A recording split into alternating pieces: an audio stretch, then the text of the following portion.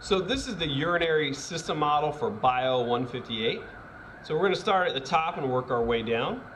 So these structures here are the kidneys. And sitting right above the kidneys are the adrenal glands. Now we can see blood vessels that go into the kidneys. This is the renal artery.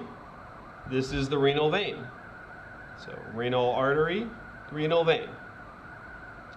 Coming out of the kidneys are these structures here, and those are the ureters. So those are the ureters, and they're going to take urine to this, which is the urinary bladder. So if we take the bladder and we open it up here, we can see the different layers of the urinary bladder.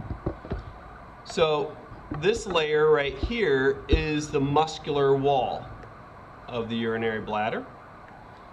This is the lining, the inner lining, and that is the mucosal lining of the urinary bladder. And then we see this structure right here. This structure right here is called the trigone. So it essentially goes from the openings of the ureters to the opening of the urethra. So that is the trigone. And while we have this here, this is showing the prostate gland here and here. And so this tube going through the prostate gland is the prostatic urethra. So that's the prostatic urethra.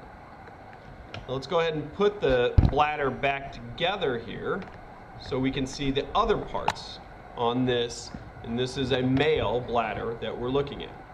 Here we're seeing the ureters right here and here. These structures here and here are the ductus deferens. So those are the ductus deferens. So that's a ductus deferens, that's a ductus deferens. Below those, here and here, those are the seminal vesicles.